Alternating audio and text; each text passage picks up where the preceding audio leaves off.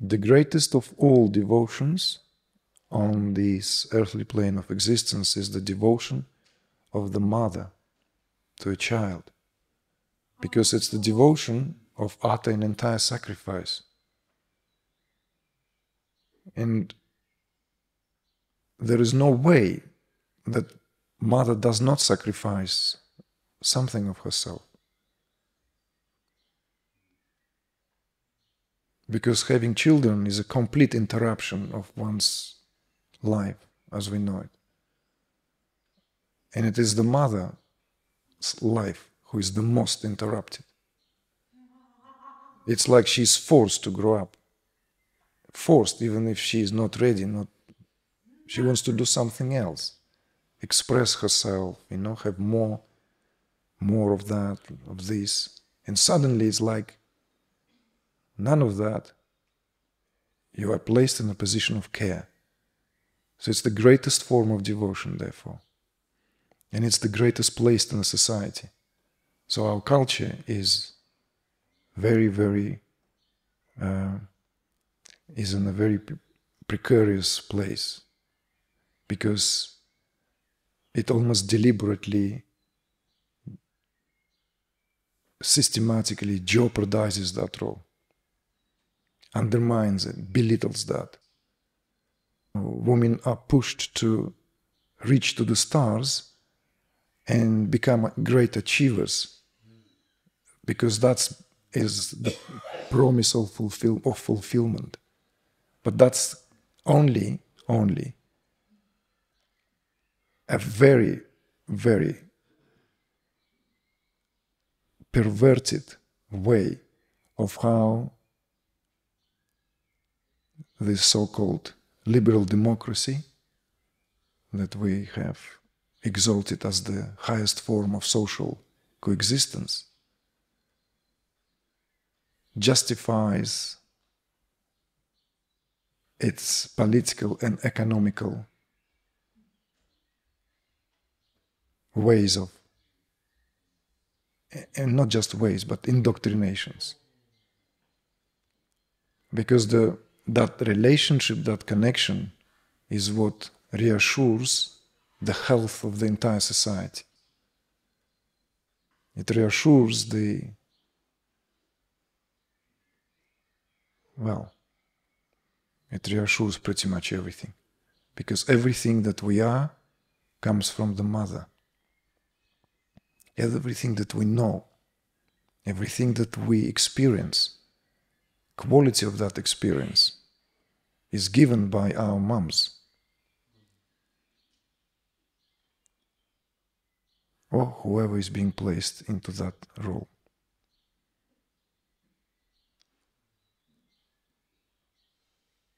And so this is far from trivial affair. This is also given as an example of the highest devotion on the earthly plane. There's nothing higher, nothing more sacred. Never will be.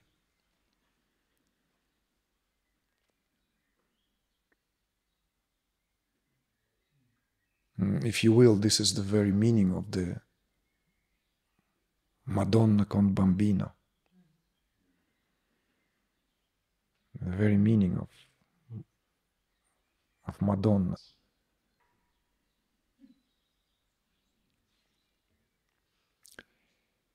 And the highest form of devotion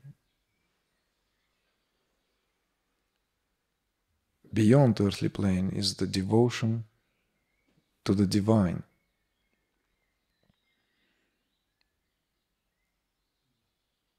So, this devotion to the divine in a secular culture, and we are by large a secular culture, is not easy because we don't know how. We don't know how to relate to that divine. There's a very beautiful telling moment depicted in the film of a great Russian filmmaker, Andrei Tarkovsky, in his Nostalgia. In the early opening scenes of the film when this writer, Russian writer in exile in Italy, in a beautiful Tuscan countryside, uh, st- stops the car and he is with this very attractive, very beautiful, very charismatic looking translator, interpreter. And she enters the local church where mass being performed, very beautiful. With all this, you know, when they open the effigy of the Mother Mary and all the doves are flying all the birds, different birds, like flying out of there. amazing fresco by Fra Angelico. No, not Fra Angelico, Piero della Francesca. And she is a city girl. She's a, she's you know she's educated. She's you know she's here in the countryside, so she's observing it. And of course she's moved by it. So there's this kind of desire also rising rises in her willingness to kind of well to experience to feel that because she feels there's this singing there's this candles there's this whole incredible timeless ambience of an act of devotion. So she's coming to an altar and she wants to kneel but she doesn't know how. And it's beautifully filmed beautifully portrayed. She doesn't know how how you know? It's like she's too stiff in her knees she finds it impossible it's very well observed it's very well observed that sophistication of our age this we could even say the sophistication of that western culture which goes everywhere as a um, as a missionary to educate, to what have you. And yet, when it wants to take part in something sacred, it doesn't know how. It doesn't have means to, you know, and the means only come from simple, simple weakness in the knees. Weakness in the knees is not the weakness, it's the greatest strength. So the devotion is very, very necessary in this process. And I want to now share why. Because in the five faces of Shiva, right, in the five, five aspects of it all, that emission, sustenance, reabsorption, concealment, and grace in all five. It is only comes through grace that the concealment of our essential nature is reconciled. It cannot be done through the effort and personal willpower, because if you have been attentive enough, you will realize that there is no person there, and therefore it is never personal. So therefore, the best way to, for especially for seasoned sadhakas, for seasoned seekers, if the West doesn't have a more appropriate term, seasoned finders. Why am I still, you know, why? Why so many years and I still have not been able to realize? Well,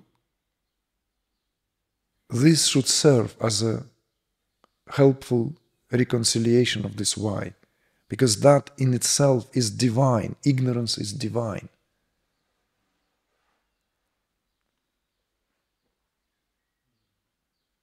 Ignorance is divine. Origin of ignorance is not personal. You see, it brings humility into this. It kind of gives a righteousness to that sense of self, of that ego, that, you know, I'm not this, you know, this, this and that.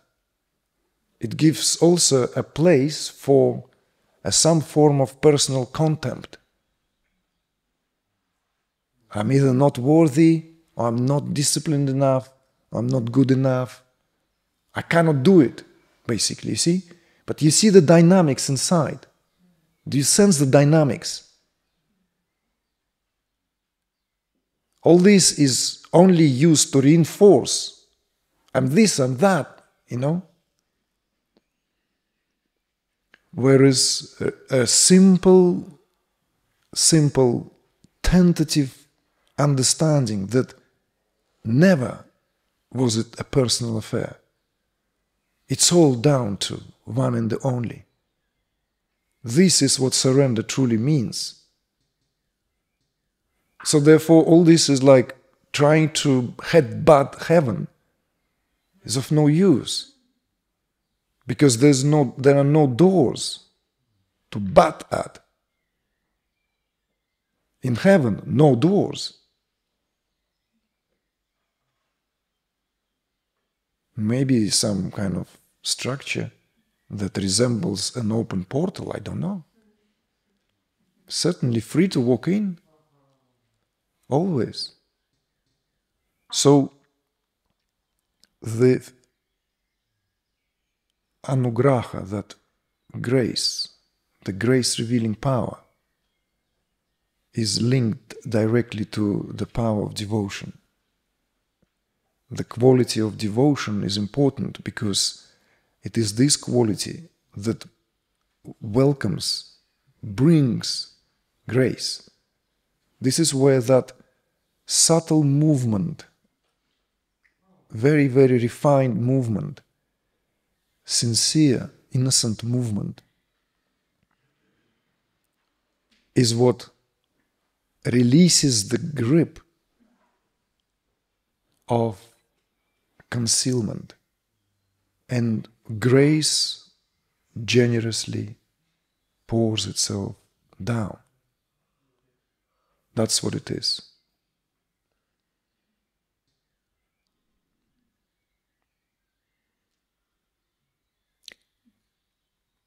And that highest form of devotion for divine here is, of course, emulated in myriad of ways of how that devotion can be expressed. All goes into culturing that. All goes into culturing that. Therefore, if someone feels that one can, forgive me, jump on the bandwagon of that new Advaitic and who is worshipping whom or who is devoted to whom, sort of resolving that predicament at an intellectual level. Could be at the expense of give, be given to dryness of non-dual realization, which also dry one's whole being out of any juices. It's dry and frankly boring. So, this is why I brought examples in the earlier days when we first sat together that even completely and utterly enlightened sages and sibyls always worship their God. You see? In whichever way, it may be when there's revelation of this structure is so profound, you begin to worship yourself. You see yourself in, in no other way other than divine manifestation. And of course, to the uninitiated, to the one who is not aware of what's going on, it may be seem like an act of adultery, an act of narcissism.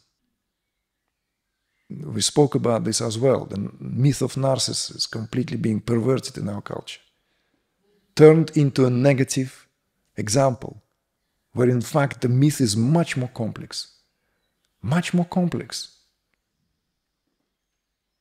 It's this Sigmund Freudian interpretation that we now adopted. You know, each time I take a knife to eat must be a dick. You know. Sorry, Sigmund. You know. I collect knives. What does it mean? I'm in trouble? I always loved knives since I was a kid. It's in my culture. Little boys, we all had knives. And as we grow up, knives got bigger, more beautiful, more refined, sharp. I need psychology, I need help. So, you see, this. Uh,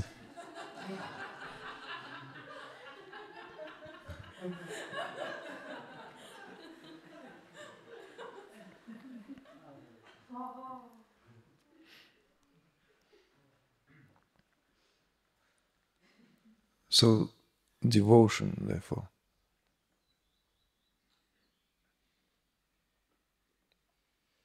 When I came back to England from Uzbekistan, where at the age of 36, I went through this transformation, this profound transformation of consciousness. I got back and in the TM center, I got in touch, of course, with people whom I knew, whom I've met some five years prior to that. And I was speaking to this man from Skelmersdale. There's a center in the UK. And of course, there's kind of like a somehow the the news of this was passed around, you know. And he was just, oh wow, you know, like, how did it happen? You know, like what what did you do? What happened? How?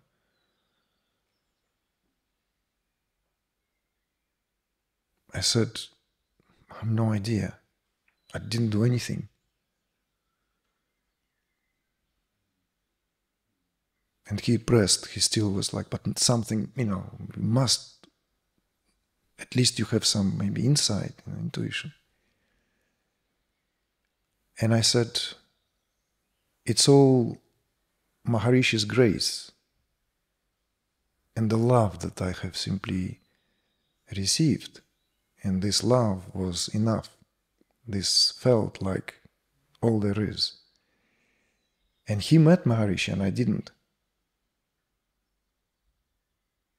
And he was silent and he said, You should come and talk about this. You should come and talk about this. And of course, it never happened because of the policies of the movements. It's not natural, it's normal, you know. Every movement has to insulate itself from rascals like myself. It goes without saying, you know.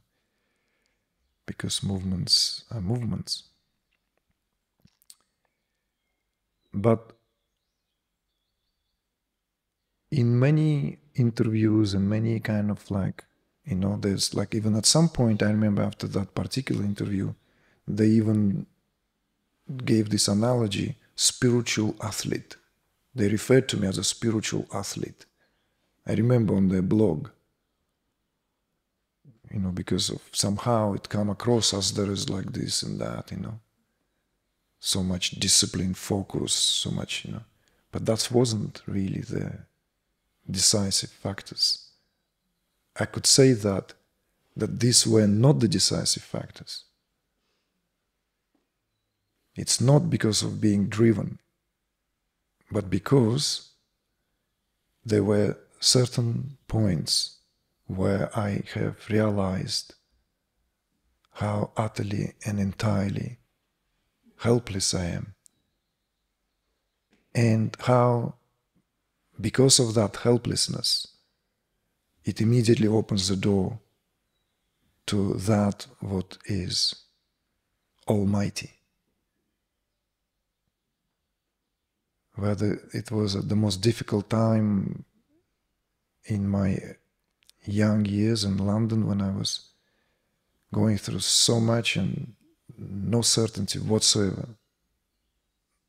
Neither certainty in relationships because I was going through a separation then, nowhere to live, no certainty in career, anything. I was staying in that apartment that old lady was dying in the hospital. It stung of nicotine because it penetrated, I think, few centimeters into the walls. I tried to wash it, and the nicotine will come to the surface. You know, I took a sponge and I started. I thought I'm going to wash off some of this. More brown comes out. So I left it. But it was beautiful place, you know, and it like these French doors into the beautiful garden. So I always slept with doors open, no matter what temperature was, because obviously to breathe fresh air. And one particular very, very, very intense kind of like feeling, feeling it all, feeling a whole weight of the world. Um, I fell asleep at the sound of rain. And the body just woke up in the middle of the night. And I just sat and I this whether it was moonlight or not, but I just sensed this and the sound of rain. And I just realized how everything is okay. Everything is profoundly, beautifully, harmoniously sits together all this emotional intensity, all this what felt like calamity, and the calamity was not just what I was going. Through, there was also like you know,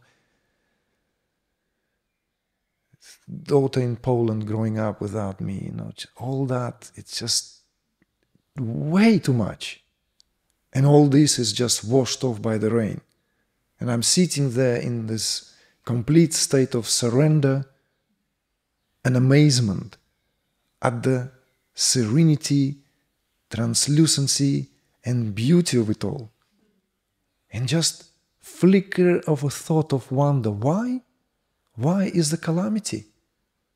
What is the big deal? It's not, not important. None of this, it's all in the mind. What a relief. And of course, you know, it's like emotional outpouring there, emotional outpouring. And what a relief and lulled myself back into sleep and I woke up and I walked on the street and tall again, you know. It doesn't matter. I don't know where I'm going to be tomorrow. It doesn't matter. You know, today is now, is this is it. Of course, by some kind of like a magic wand, things just started to open up. It's like from nowhere to live, I'm living in the house of the greatest art critic at the time with my whole whole wing with antique furniture from Christie's and um, Chinese porcelain, you know. Creative people, my neighbors. There's a house where Rudolf Nureyev lived right across. It's just in Chelsea Gardens. It's just ridiculous. The whole predicament is ridiculous. And of course, my daughter is grow up and there's this reconciliation and everything, and the one from whom I'm breaking up is still one of my best friends. All this is just, all this is just thought goes into some kind of merry-go-round and get caught in catch 22. This is just one of those so-called, whatever you call them, sudden illuminations. And there were plenty of those. But in all those that I'm just um, happily sharing, was one distinctive feature, one distinctive, distinctive feature surrender. Because it always was nothing I can do. There's nothing I can do about it. I cannot push it. All I could do now is to let it be.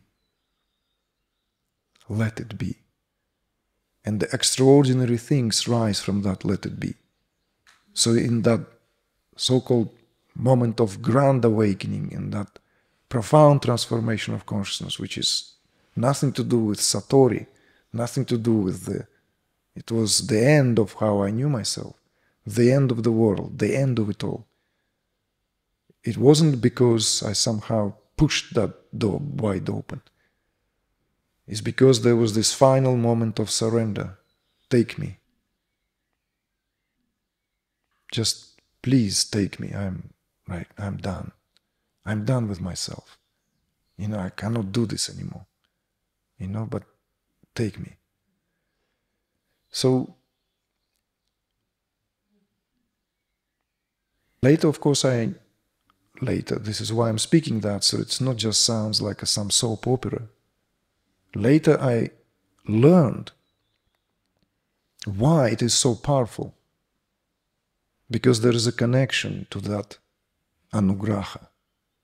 Devotion brings anugraha. Devotion brings grace. Grace and devotion, in fact, are kind of synonymous.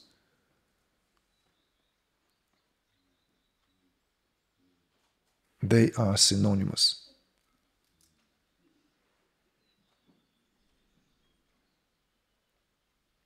Devotion invokes that, it brings this. But it's not easy because it's not given in our culture. So therefore, each and every one of us find our own ways. We are destined to find our own ways. Recreate our own ways. Because it's not easy to. It's easier to follow or go with the stream if there is a collectively shared stream.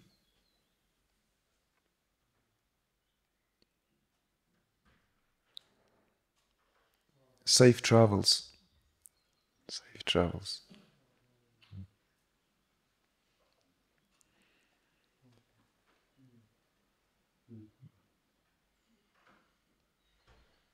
But if there is not collectively shared streams, sometimes we have to stream against the current. Sometimes we have to find our own way. Therefore, sovereignty is required for that. Independence is required. Tremendous power of the heart is required to be able to stream against the current. As that forel or any other noble fish that goes up the stream for nesting.